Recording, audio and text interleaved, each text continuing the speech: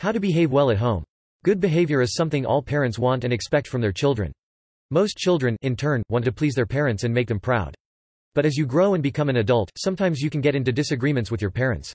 Behaving well at home is, therefore, sometimes easier said than done.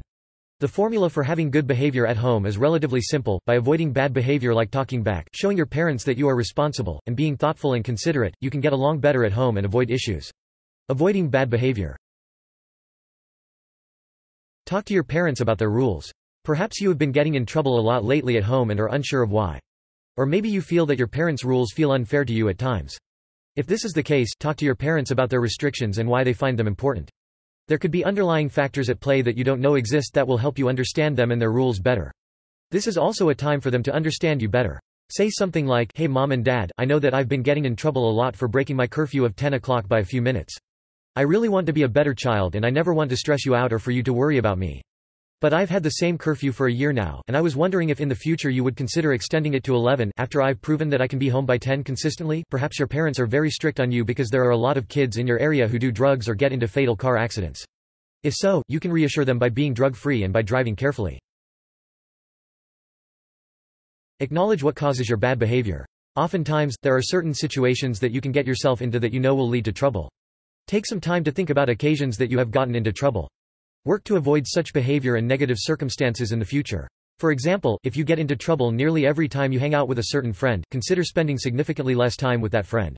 You can also try to talk to the friend so that you both can be better friends to each other and avoid trouble. Avoid trouble at school. One other way to be good at home is to be good at school. No parent wants to hear the news that their child has been disruptive at school, and doing so can almost guarantee that your parents will be upset and disappointed in you. Work to be good at school and avoid issues so your parents never get a bad report. Review your school's handbook as far as conduct policies as well as the classroom policies that your teachers have on an individual level. Follow these rules and you will avoid punishment. Don't argue with your parents.